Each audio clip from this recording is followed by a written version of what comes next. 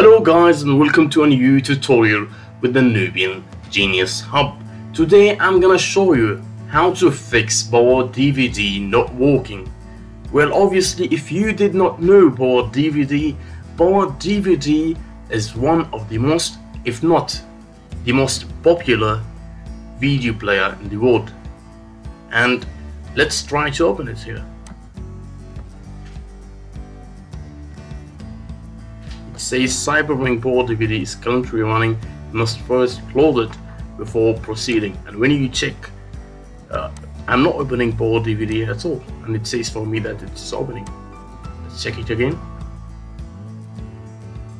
It says that it's not opening. So the way to fix it is actually to go to Task Manager. It is the same process for Windows 10 and Windows 11 actually. You look for Power DVD, find it. Here is Power DVD. Then you end its task. Well, you can see now Power DVD is going to start finally.